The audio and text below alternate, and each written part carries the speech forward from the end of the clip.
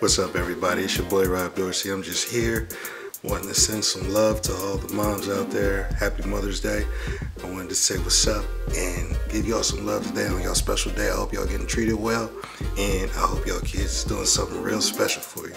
You know what I mean? So to all the moms out there, happy Mother's Day and enjoy it, man. I hope you love it.